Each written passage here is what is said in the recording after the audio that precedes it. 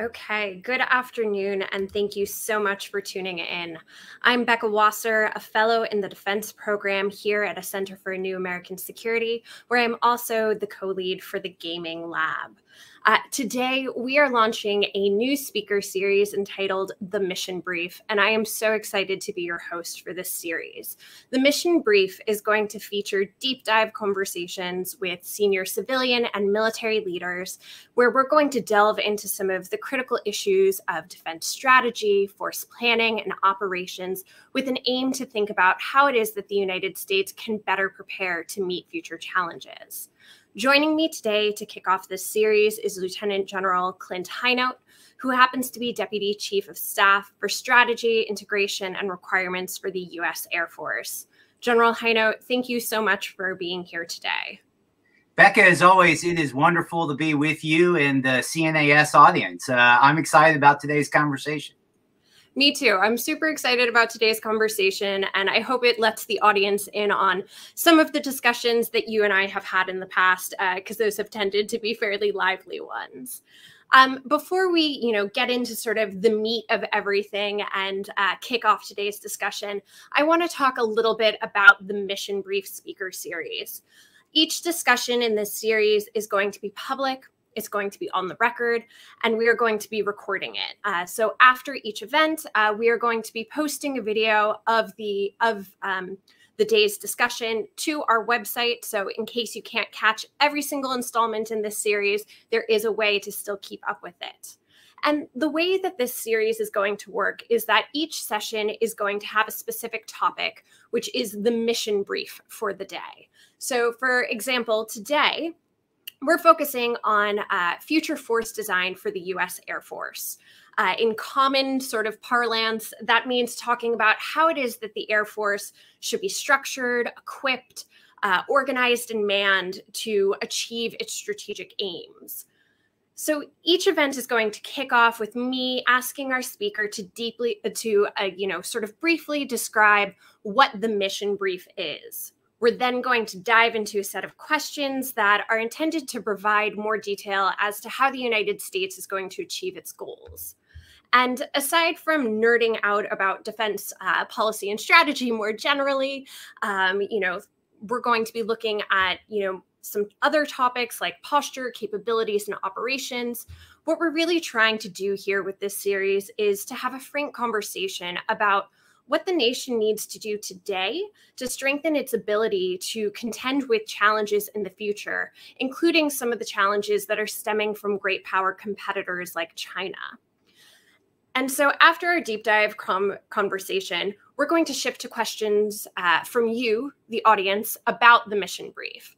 And this is really your opportunity to ask critical questions to shape how it is that you know leaders are thinking about future threats that america may face um, and to provide feedback about how you think the nation should be uh, preparing to meet those challenges. Uh, to submit your questions you know please use the question and answer function uh, in the toolbar at the bottom of your screen. Um, I will note that we are not taking any anonymous questions. So if you want your question to be answered, please identify yourself. Uh, alternatively, um, you can ask questions or comments on Twitter. Just use hashtag uh, CNAS2021. So, without further ado, let's get started with the question of the day. General Hinote, what is today's mission brief?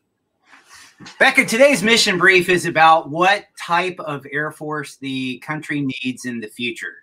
So uh, it, the honest truth is, is that we have to have a different Air Force for tomorrow's challenges than we had for yesterday's challenges, which means we have to change. Militaries don't like to change, and that's a problem, right? And uh, and it's a it, it's certainly a fact of life for us as we try to take these very successful institutions and move them forward into the future. So, my chief of staff of the Air Force, General Charles Q. Brown, has actually written that we need to accelerate change or lose. And I think there are some people out there who still kind of go, there's no way the Air Force could lose. We have the best Air Force in the world. And, and certainly I'm very proud of what my institution has accomplished since it became an independent service way back in 1947. But we're looking to the future. And in fact, we do have to change if we're going to be relevant for the future. And so, what I hope to talk with you today about is what kind of change that looks like. And you know, change can be very uncomfortable, and so it's time to get uncomfortable and and uh, and, be, and embrace that uncertainty of what the future looks like. And uh, and that's what uh, what I certainly hope to talk with you in the audience about today. So, as you mentioned, future uncertainty. And before we kind of delve into what those changes are, I actually want to talk about some of those future challenges, right? There's no way that we could ever predict the future, but we are thinking a little bit about some of the challenges that might be that we may end up facing. So, you know, at this juncture in time, how is it that you see air warfare changing? You know, is air superiority still an attainable goal and one that the US Air Force should strive toward? Mm. Well, as usual, you hit with one of the most important questions up front. Uh, so the the honest truth is, is as we have used the Air Force that we built, and really the Joint Force that we built in the Cold War, and as we use that to meet the country's challenges over the next several decades, other countries have studied that. And in fact, some of our, the, our competitors studied it very, very well. You know, one of the things that I find fascinating is how many of our documents get translated in certain languages. And it, it probably won't come as a surprise to you that almost all of our seminal documents, I mean, they're on the web. You can go see Air Force Doctrine right now uh, uh in, in, uh, in, on the website. It's translated into Mandarin and uh, and it's studied by uh, by uh, the officers in China. And in fact, there were some very interesting reactions to some of those doctrinal uh, documents over time, and that was especially true in the years since Desert Storm, and to some degree with the the conflict in, in Bosnia and Sarajevo. And what ended up happening is is China in particular, but also Russia, spent a lot of time, effort, and investment in figuring out how to stop American air power. And when I say American air power, you know, it's it is kind of a truism that we have four air forces, right?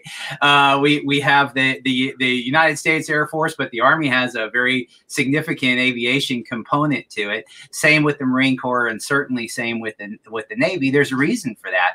It's one of the most important military advantages that the United States brings to military competition, and so our potential adversaries saw that and they invested in capabilities to stop that. Some of those would be good radars, and, and some of those would be very good surface to air missiles and good fighter aircraft and good weapons. And, and in fact, we see that China, as an example, has invested in the spectrum of all of those things. And they have put them in places where it's very challenging for us. An example might be over Taiwan or even into uh, parts of Japan. And so you, you ask a really good question, which is, is air superiority attainable? And so let's go back. I know of no concept of the United States Joint Force where there's not some degree of air superiority required. You know, the, the last that we, we love to say this, and, and I'm going to say it one more time.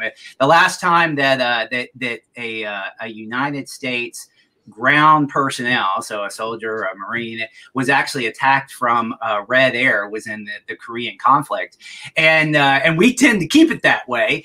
Uh, and uh, and that's being said, it is much more challenging, especially as you get closer and closer to China's borders. And when we start thinking about what does air superiority require, it's going to require us to think differently than we have in the past. So this idea of air dominance or air supremacy, I have a lot of trouble with that. I, I don't see that as being a viable thing to try to, uh, to try to establish. But for certain times, for certain operations in certain geographies, I absolutely believe that air superiority is attainable. And in fact, I believe it's a prerequisite to do the most important things. So that means that we have to think different about how we're going to penetrate into those contested areas and how we're going to create that effect of air superiority. At the very same time, our country and our airspace is going to be increasingly challenged. And we're going to have to also think about defensive air superiority. How do we protect the United States from attack? Uh, I'm very good friends with uh, folks up in Alaska right now, and they're they're telling me that their intercepts of Russian aircraft coming over the Arctic are as high as they've been in a very long time. And so those are the types of things that we are always going to be thinking about in the Air Force. Both how do you project power through creating air superiority, even all the way to somewhere like over an ally, like uh, say Japan, and how do you defend the United States from attack with, with defense? And those are going to be the ways that we are uh, that we are going to recreate or reimagine air superiority for the for the next 40 years. So, related to that, what is the theory of victory for the US Air Force in how they are going to prevail over increasingly advanced adversaries like China and Russia, who you just mentioned? Yeah, so so the the as as you know, and and and uh, and and I know you have the history about this. The words "theory of victory" have a very interesting connotation right now, and uh, and so maybe we ought to take just a little step back and talk through kind of where we are right now at this point in uh, in the United States and how we're thinking about strategy. So as we speak, there is a new national security strategy being written in the White House. There's a new national defense strategy being written in uh, the Pentagon. There, there is a new joint warfighting concept that is being iterated on and war gamed out in the in the Pentagon and, and in the Joint Staff. And there's so many other things that are associated with the new administration coming in and a rethinking of our strategy. And so all of those things could have a great deal of influence on the types of military forces that we need to invest in. Okay. So that being said, I suspect the way that we're going to go is that we have to be able to defend our friends, uh, meaning that if we want to, you know, we have an alliance with Japan, we need to be able to defend Japan. If there was any aggression, we have an alliance with the Philippines. We need to be able to defend the Philippines. We haven't, we certainly have talked a lot in recent weeks about the possibility of defending Taiwan against an aggressive act from China. And in fact, uh, there's been quite a few uh, press articles about that recently.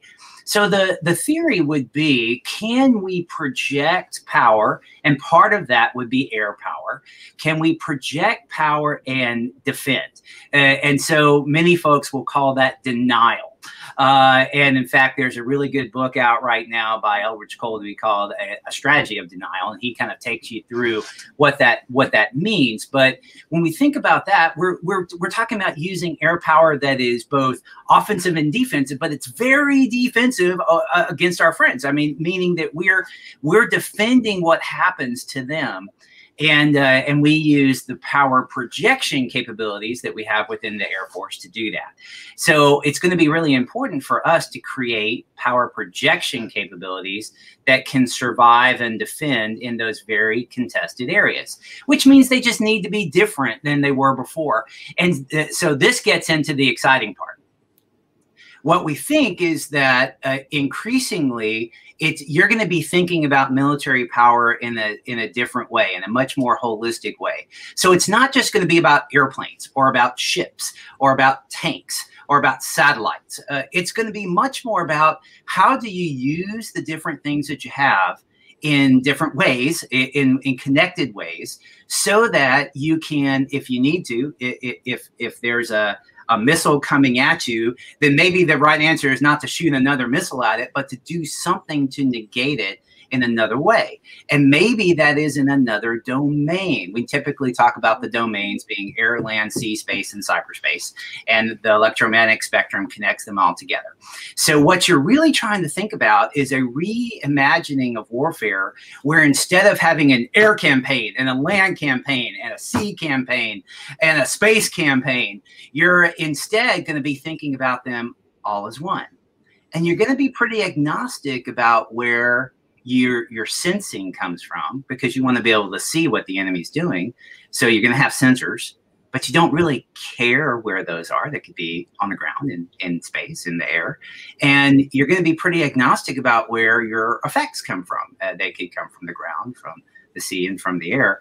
And when we talk about all domain operations, you're really talking about taking what up until now have been fairly stovepipe capabilities in the domains you know, airmen look at air power and and sailors look at sea power and and soldiers look at ground power and, and we're going to connect them and merge them in a way where it's going to be very difficult to uh, to to kind of describe where say land power stops and air power starts uh, that's what all domain is going to bring to us. Now, that's just, I want to say that's more than theory, is that there's real practical aspects of this. So if all parts of your joint force can say, as an example, attack maritime targets. So this would be very likely that if uh, there's a an attack uh, by China, part of it comes from their navy. It, it, that's just the way it's probably going to go. They're going to project power out.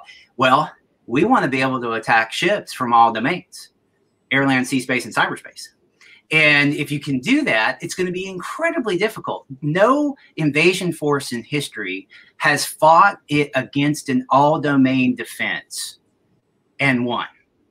And we're going to try to make that real uh, in our time. Why? It's not because we want to go to war. We don't. We want to defend. We want to deter, and uh, and we want to keep uh, keep everybody trading with one another, and keep uh, keep keep children going to school, and uh, and and keep uh, standards of living going up, and keep uh, sharing innovation around the world. I mean, those are the things we want. We use military power so that we don't have to fight, and and we think that a good all domain defense is going to be the way to make that happen. So uh, it's a long question, but you ask a really tough one, and so uh, so I hope that that gets uh, that gets after it a little bit. No, that was great. I do want to point out that you said wargaming before I did because I know that you and I both can't have a conversation without wargaming coming up in some way. Um, exactly right. so, thinking a little bit about that, how it is that you think the Air Force is going to be fighting in the future, can you talk a little bit about some of the force structure changes that need to take place in order to actualize the ability of the Air Force and, frankly, the Joint Force to fight yes. in that way? Yes, a great question as always. So the the we have thought in terms of fairly large elements of force structure uh, you know, uh, of battle groups, of, of divisions, of, uh, of wings, and, and large formations. So, what we certainly believe in the future is that the the best way of defending yourself, and, and, and certainly well, certainly one of the best ways of defending yourself, especially true given all the firepower that an adversary like China could bring to a fight, is you've got to disperse, you've got to spread out, you've got to be able to take a punch to the point where they can't concentrate on just a few targets and really negate your ability to fight. And so what we see is that instead of large bases, instead of large formations instead of large amounts of ships moving together, we see the dispersal aspect as being really important. So that means that you've got to be able to have smaller units, but still have the capability to fight within those units. And so, an example of that might be that instead of having one or two or three major bases in, in certain parts of of uh, of the Pacific, as an example, or certain parts of Europe, you would want to have lots of ability to spread out and use different bases and small airfields and even highway landing strips and things like that.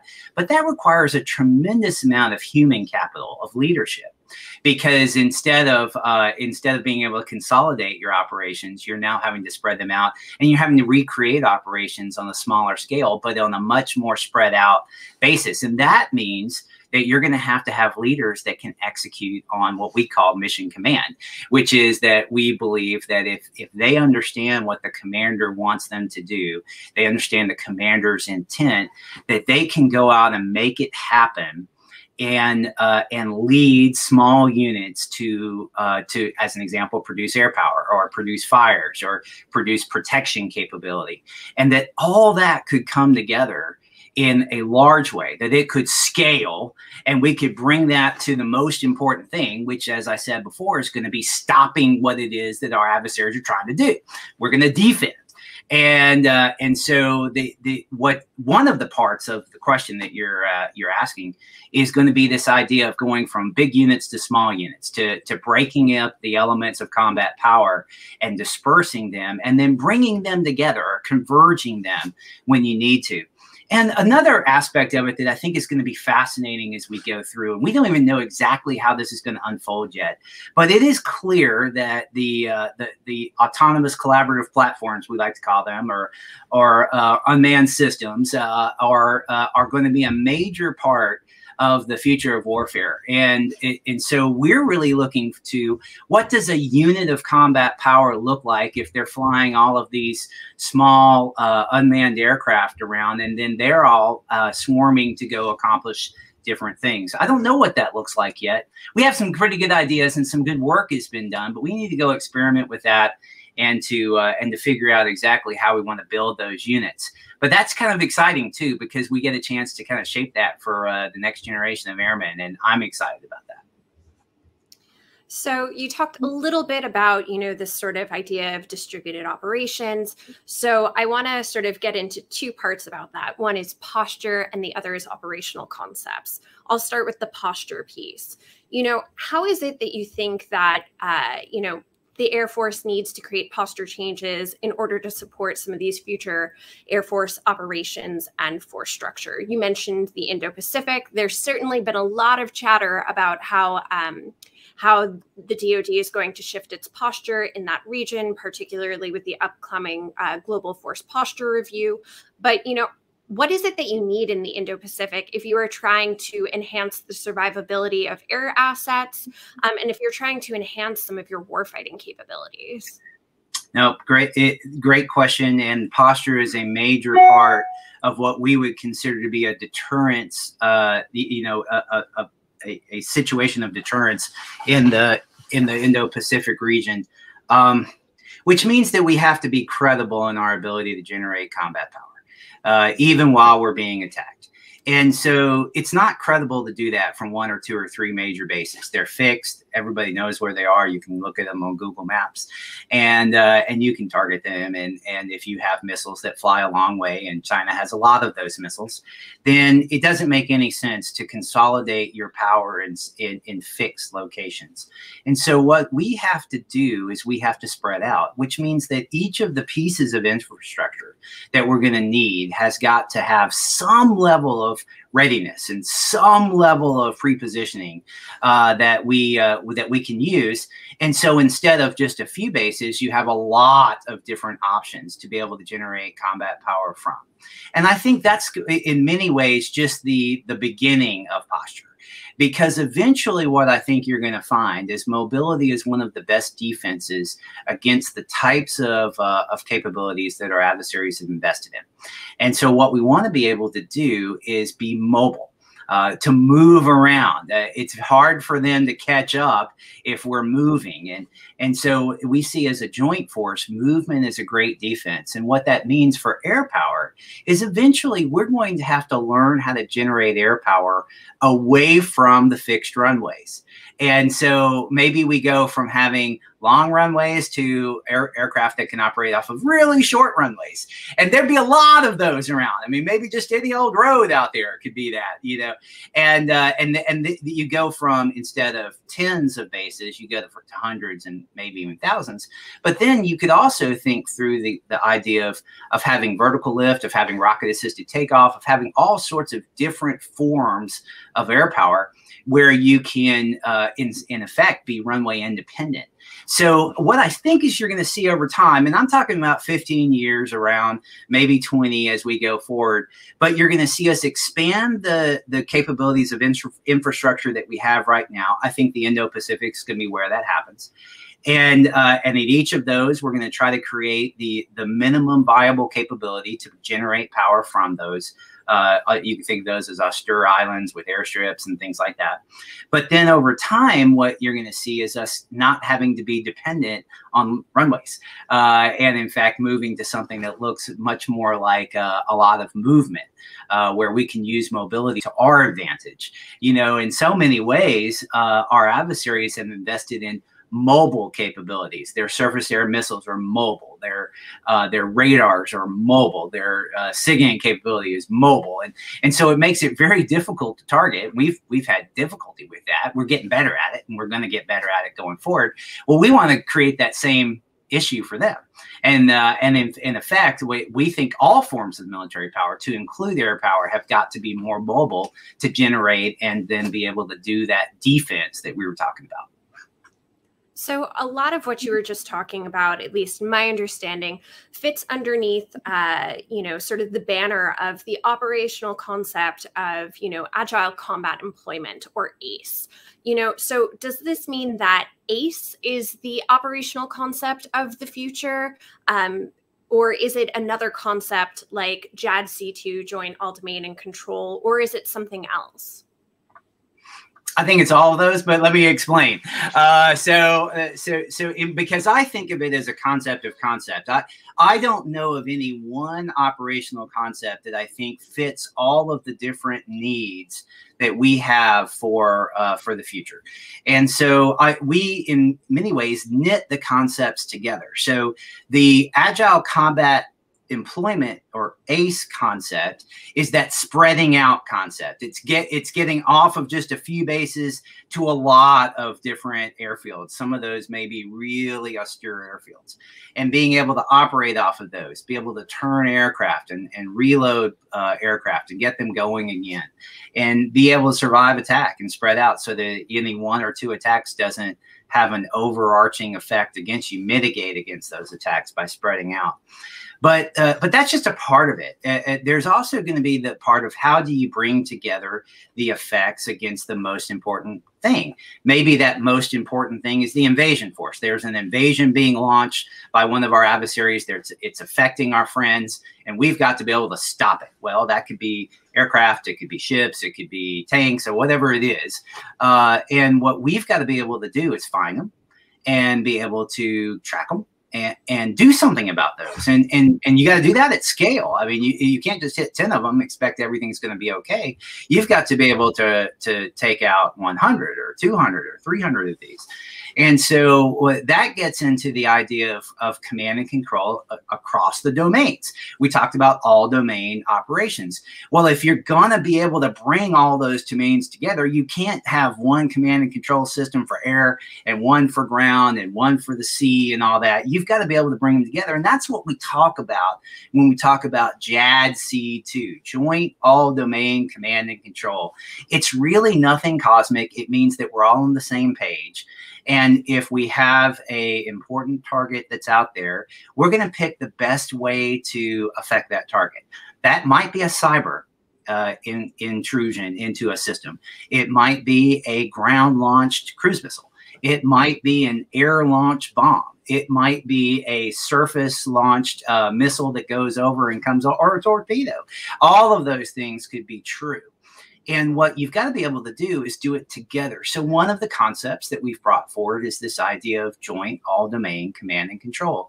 And it means we can make joint uh, all domain operations successful by all being on the same page. We, we all see what has to be done. Somebody makes a decision on what needs to be done, and then the right force is executed and sometimes we think of, of that as, as being part of a kill chain. In fact, you've heard uh, uh, the book by Chris Brose uh, called the the Kill Chain, uh, and it's because of that. It, it's this idea that uh, that you can connect all those things together.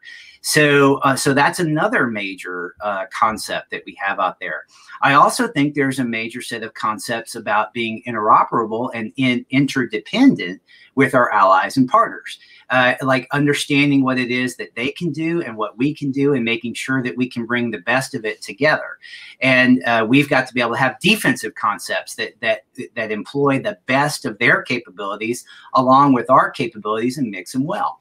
And so that's another example of, uh, of a concept that we're uh, looking for. So in, in essence you're seeing quite a bit of concepts that are out there. I'll close with this one because i think it may be the most important.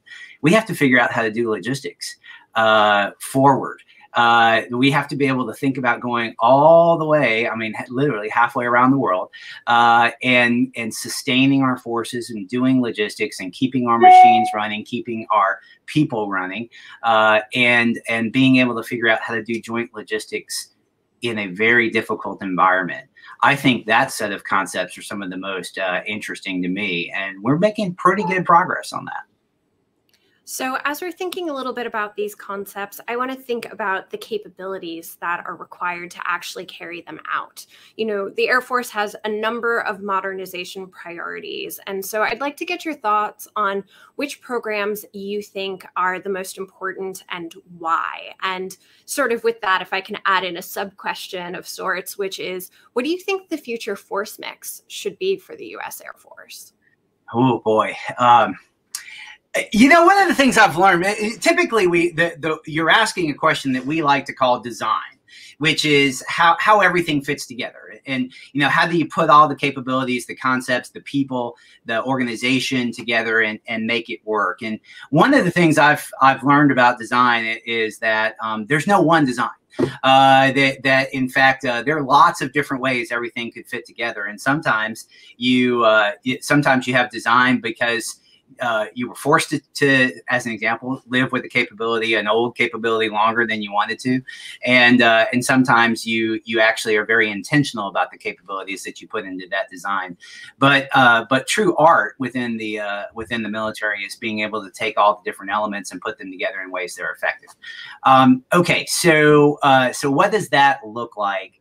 For the future? Well, the first thing I'd say is we would, if we believe that this idea of all domain operations and the idea that the whole team has to work together, that you can't have individual components and expect that they're going to win in the future environment, then then everything that we have, all of our capabilities, have got to be able to interact uh, with the uh, with each other. They they've got to be able to work together. Uh, and so that gets into the whole um, JADC2 and the fact that all of our wet form or all of our weapons, certainly the weapons we expect we would use in the high end fight and all the platforms and, and many of the, uh, of the capabilities, uh, those uh, those got to come together, and, and, in order to do that, you've got to be able to communicate. and And the key with that, this is, I think, a really interesting uh, part of where we're going, is there's uh, there's there's kind of different ways of thinking about data. There's the way of thinking about data that you generate it all within your platform, within your capability, and you employ off of that data. A good example of that would be radar off of a fighter. So a fighter, many of our fighter aircraft have radars in the front. They see a target out there, they have an air-to-air missile, and they've got tracking data from their radar. They connect that to the missile and they shoot um, that that would be an own ship targeting problem. But increasingly, what we see is that that's not good enough. Uh, in fact, we're going to need to find ways of connecting other targeting um, solutions to that fighter. Okay, now you start to get a slightly bigger world. And eventually you get to the point where you can't pass all of that data through bespoke uh, uh, you know, conduits. You need to be able to make the data available to the force as a whole, and then the force can pull whatever data it needs to be relevant. And so that sounds a lot like a cloud.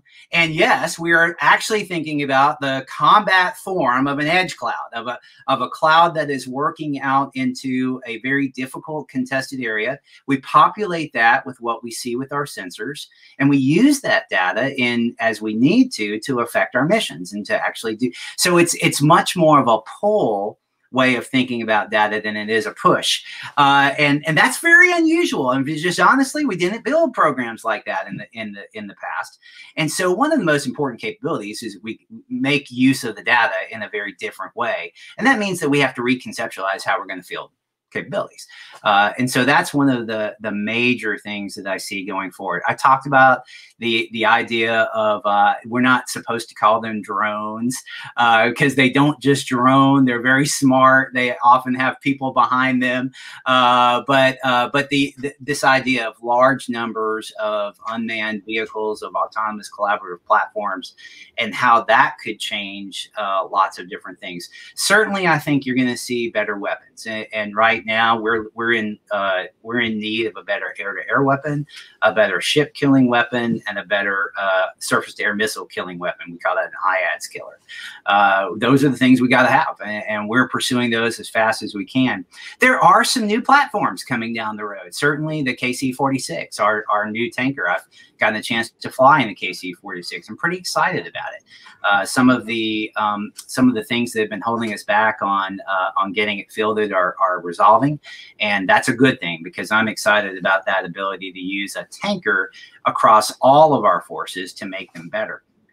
Uh, the B-21, uh, our new bomber, uh, that you've seen silhouettes of it, uh, and uh, and and it has the potential to really be a, uh, a positive asset for us. And then um, certainly our, we're going to be fielding the F-35 in large numbers. Uh, and the F-35 of the future will be very different than the one we're buying today. It will have much more ability to, to say, for example, do fusion and processing and, and, and to populate that cloud, as I was just talking about, and to pull data from it. So in, in many ways, it becomes a node of, uh, of important processing, not just a, a fighting aircraft that's out there. And then the the idea of human machine teaming has incredible possibility for us. And, and the, how are we going to use machines to do what machines do best? And use humans to do what humans do best. And I have a feeling that's going to change a lot of things. It'll change the way we do command and control. It'll change the way that we do tactics, and uh, and who knows what else. Uh, so those are some ideas uh, as to where we're going. Our design incorporates all of those things and more. Uh, but I, the, the first thing always is how are we going to get the data from where it is to where it needs to be? And uh, there seems to be some real movement in that area that I'm very excited about. Wow, there's definitely a lot going on. Um, I want to remind our audience to please keep these questions coming. I'm already seeing a bunch roll in, and they are fantastic. So again, just use the Q and A function at the bottom of your toolbar. Uh, you know, tweet at tweet at CNAS or hashtag CNAS 2021. Um, and just please remember to identify yourself with a question. Before we shift to hearing from you, the audience, uh, I want to ask one last question, and uh, that is about implementation. Um, and, you know, implementation is often where the rubber meets the road for the US Department of Defense. So, the Air Force has cited 2030 as a pivotal point for force modernization. You know, is the Air Force still measuring itself up against the 2030 benchmark? And if so, how is that coming along? How is it that you intend to go from here to there, you know, in terms of how are you planning on, you know, sort of what's the bridging concept between today while we wait for the future force to come online tomorrow and sort of where are the areas that we that you think that we're going to need to accept risk? No and and in fact uh, there there was a time when we thought we had until 2030 to change and generally we don't believe that anymore and so, uh, as I have said before, I'm very impressed with China's capability to accelerate their change, to in fact outpace our estimates of their modernization, and uh, and you have to respect that, and you, and, and you have to be very. Uh, very, very, very impressed uh, with many of the investments that they're making and how they're paying off. So I, I think there is this idea about a journey of transformation that we have to walk. And it's not just, what we're going to all aim for 2030. The interesting thing about 2030, of course, it's 2021 right now, is that by 2030, you could conceivably start new aircraft programs and have them be delivering by then. Whereas if you looked more like a 2027 time frame, it would be more difficult to imagine starting a new aircraft program from scratch and having it deliver in real numbers by then. I, I don't put anything past the American people. I'm not saying that we could never do it, but that has not been the timelines that we've been used to right now. So what you normally would think of is that you might be able to develop some weapons uh, between now and say a 2027 timeframe. And I've already talked about three of those weapons that we think we've got to get in a very short amount of time. And that could really make things different for us in a good way. Certainly, I believe that we can communicate better. I don't know that we'll have the the uh, the all-knowing, the all-seeing JADC2 solution uh, by 2027, but we can communicate better, and we and we need to do that. Um, I certainly believe that training matters and, and, realistic training matters. And certainly, if we were to have to fight in an earlier time frame, say like a 2026, 2027, uh, training would make a huge difference there. I, I also believe that we could make some decisions about logistics and have those be more resilient than they are today. We certainly see the problems when in the civilian supply chains right now. Uh, those also manifest themselves in military supply chains, and so we see that in many ways those supply chains are brittle and we could make uh, decisions to make those more resilient and less brittle. So those are some things we could do in the short term as we're looking, and then we start thinking about well, what would new aircraft look like? What would new platforms look like? And then over the the even longer term than that, you start to th- see things like how does AI enabled autonomy? How does quantum computing play inside of uh, the the military structure, and how does that increase our effectiveness overall.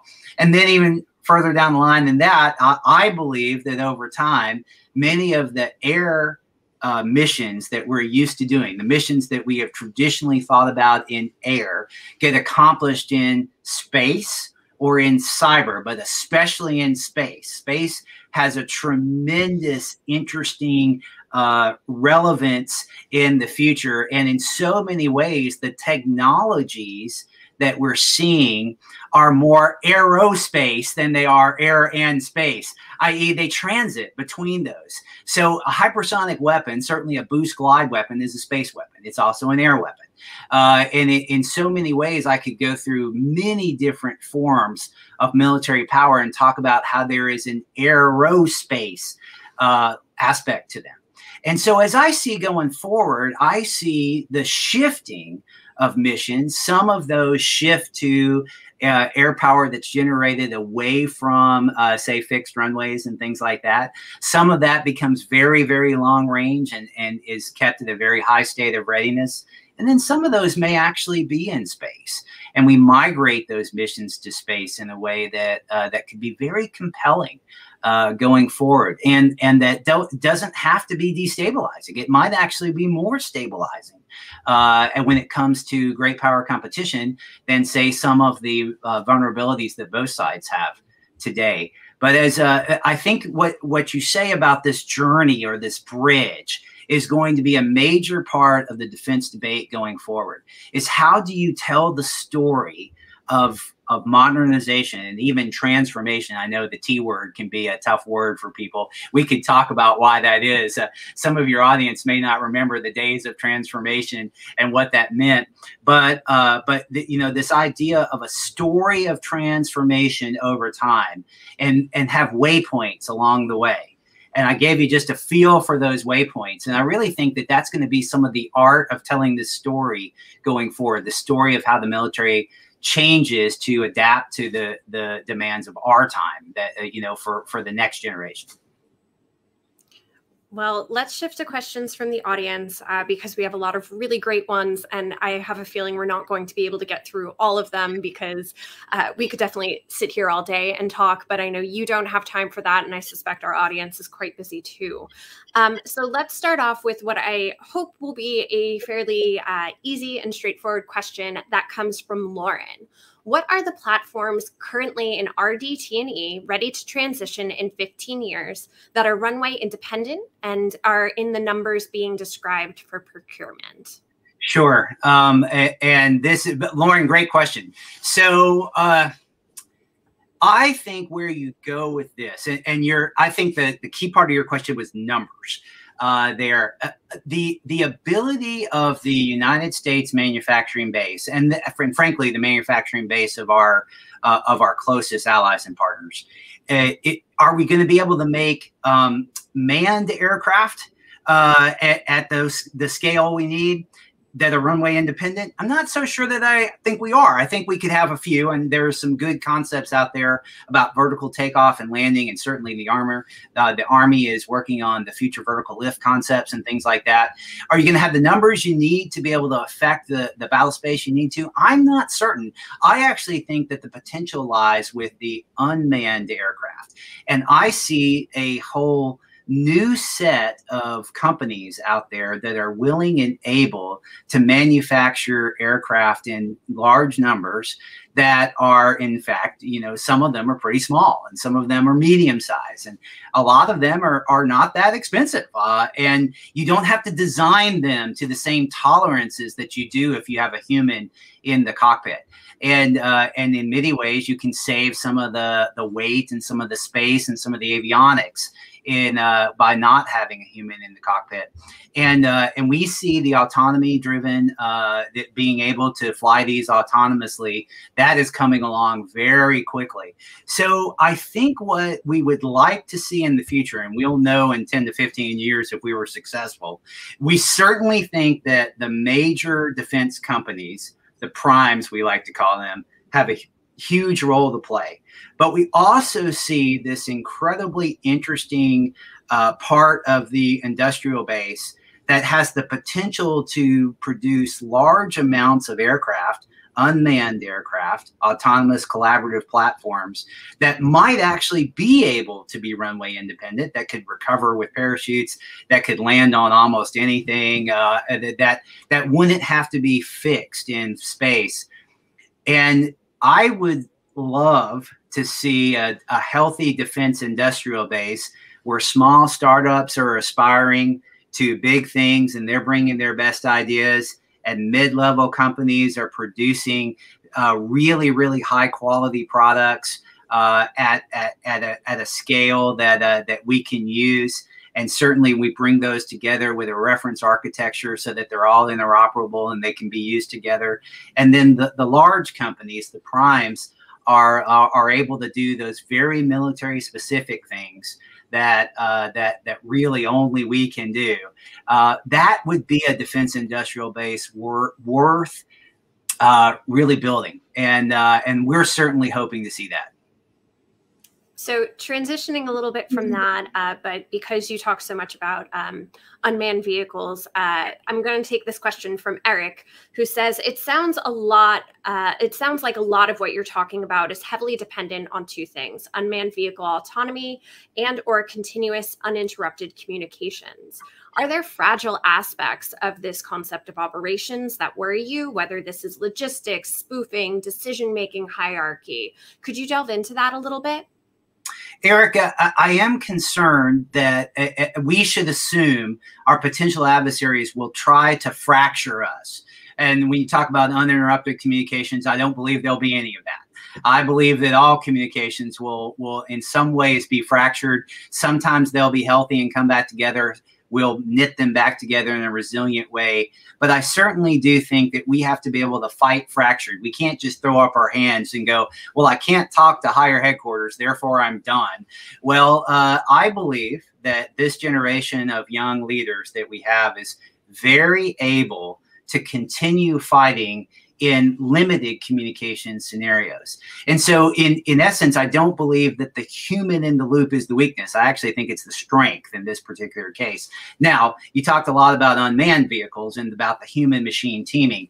I do believe that there are senses or tiers of autonomy that we would want to use. And even when fractured, some of that autonomy could mitigate the fracturing, uh, could continue to do what the commander intended for it to do. Now, there are going to be limits to that. We certainly would not want to take steps to go to things that would not be able to, say, be vetoed and things like that. And we would want to put limits on things like time and geography and mission set. But in that context, and certainly in the context of a great power war, I do believe that tiers of autonomy would help to mitigate some of the fracturing that we can expect on the battlefield.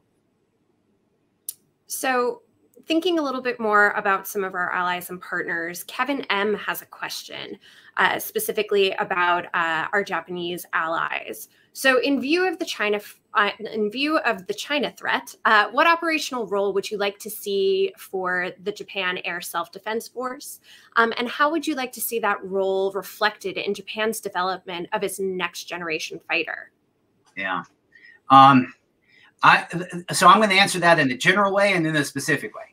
So the the general way is every one of our allies and partners, and especially the ones that are in very close proximity to what could be our adversaries. An example of this would be the Baltic countries in NATO, and certainly we're seeing unrest right now uh, when it comes to uh, some of the NATO's uh, eastern flank.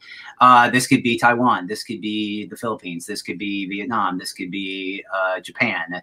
Uh, I think all of them need to take their national strengths as an example, Taiwan is probably the best producer of, uh, of semiconductors in the world right now, and uh, and and they can manufacture things. I think uh, all of them, we would like to see them take their individual strengths and knit them together so that they're the most defensive uh, they have the most defensive posture they could put forward. Sometimes we call that the porcupine effect. Uh, we want these countries to be porcupines in reference to or in, in comparison to, uh, say, Russia or China. Um, and uh, that doesn't mean that Russia or China couldn't do something and couldn't fight their way through those defenses, but it means that it needs to hurt a really lot. Uh, and uh, and we want to see those those countries adopt the best defense for them. So, uh, so that could include, in the case of Japan, Japan is a very technologically proficient ally. Uh, they build things and they build things well. And so, uh, what we want them to do is build defensive capabilities that make it much more difficult for China to imagine uh, doing things that are aggressive against Japan that because it just wouldn't work or if it would work their cost would be so high when it comes to the type of uh, of things they'd have to do versus Japan. And so that means that the Japan uh, self defense forces need to be great at self defense. And in so many ways, uh, Japan can create uh, anti access area denial capabilities of its own. And we would like to see that. In fact, we would like to fold into that uh, because we think that would be the most compelling uh, vis-a-vis their their number one uh, threat, China. And so, um, so what does that mean for things like the FX? Well, the FX needs to be able to integrate into that entire defense system. Uh, it needs to be a node in that system. It doesn't need to be an individual platform with individual radar and individual weapons. It needs to be part of the network. And if it is part of the network, it needs to be feeding the network and it needs to be receiving from the network and it needs to be integrated into that network as a defensive node. If they're able to do that, I suspect that the uh, the defenses that Japan could put forward would be very compelling to the Chinese calculus. Uh, and that I think is best for uh, the Japanese interest and best for our interest as well. Okay, we're going to take one last question from the audience, um, and it is one that warms my heart. Uh, from Kelly, can you speak to how the Air Force has used wargaming effectively? And do you have some additional insights that you can share? Uh, General Hinote, I promise you that I am not secretly Kelly, and I did not just write that question. Oh yeah. So Kelly, uh, one of the things that I love talking with Becca about is wargaming, because I actually think wargaming is one of the best analysis tools we have. Uh, you know, in so many ways, when you think about analysis, you think about uh, physics-based modeling, simulations, and all of those are really important. And uh, and as an example, stochastic simulation is a is also a very interesting tool that we use to think about force design and and how we want to uh, to put things together. But the neat thing about wargaming is it's it has a human interaction to it. And it, it, just like war does right? It and it's really difficult for us to go out and to to be able to understand our true weaknesses. Because in so many ways when we train we train as uh, small units. And and we don't see the big picture sometimes. And the neat things about war games uh, you know, we don't have a regular season like we've got the the NFL uh, that's going on right now. Uh, we don't have an ability to see how our strategies are playing out vis-a-vis our competitors and and to make adjustments along the way. One of the great uh, things that the sports team gets is they get immediate feedback. Uh, we don't get that uh, as we build uh, capabilities and so wargaming gives us feedback and it gives us feedback of red versus blue of the human red side and the human blue side and there's some interaction there that's really really important to understand and i will tell you i have been surprised many many times about what i saw in a war game but then i go back and i go hmm that could happen. And I'm glad that we saw it in peacetime so we can prepare for it. And uh, and and that was a blind spot that we had. So so we use wargaming to be able to uncover our vulnerabilities, to expose our blind spots, to see where things are working and where things aren't. And we uh, we test hypotheses. And so uh, you asked about are there any insights that are out there about some of these hypotheses? And certainly, uh, as we look at the things like networking and unmanned systems and uh, the ability for all domain operations, those are things that we see that work in the wargaming scenarios. And that's why we're pursuing them. I think the number one insight that I have, and we just got done talking about uh, Japan as an ally the number one insight I have is the more that we can uh, that we can help our allies and friends to develop their own defensive capabilities, it is the highest payoff thing that we can do. Uh, and so uh, I'm I'm a major, and this came out of the wargaming. I'm a major proponent of rethinking the way that we share military technologies with our allies and partners, and the way that we partner with them on concept development and we come together in an interdependent way uh, because it is the most compelling thing we could do. The wargaming proves it. Wow. I mean, I couldn't have made a better case for wargaming myself. Um, and, you know, I'll just quickly take this as a mo moderator's prerogative before we end, just to sort of do a two finger question on that, which is Are you also using wargaming as one of your tools for measuring how some of those force design changes that you've detailed throughout our conversation, uh, whether those are, you know, coming to fruition, whether change is occurring, and whether it's happening at the appropriate pace. Is that one of the metrics uh, that you're using, yeah. one of the tools? Yeah, unfortunately, um, the wargaming says that we're not accelerating our change fast enough. Uh, and so we have got to do better. And of course, uh, my my chief of staff uh, wrote "Accelerate, Change, or Lose" for that reason. He's right. The wargaming proves him right. Uh, and we've got to go faster. And part of that is sharing that wargaming data with our stakeholders. An example of that would be um, members of Congress and their staffs. Uh, in uh, the last major wargaming uh, cycle that we did, we invited members of Congress and their and their staffs to help us shape the game, and we took the results back to them to show them what happened. And they even came and visited a little bit as the game was being executed, and uh, and and we felt like that was a really important thing because we wanted everybody to get the insights from the game to include Congress because they have such an important role to play when it comes to transforming the military. And uh, we feel like the wargaming was one of the ways of helping us tell that story of the type of change we need and the fact that we need to get after it faster. Well, General Hinote, I think that's all we have time for today. So thank you for what has been an illuminating discussion. I know that I got a lot of out of it, and I suspect our audience did too. Um, for our audience, uh, thank you so much for joining us today. Uh, stay tuned for more Mission Brief events. We've got some great conversations planned, and I hope that you're going to join us for that. So until next time, folks, thank you.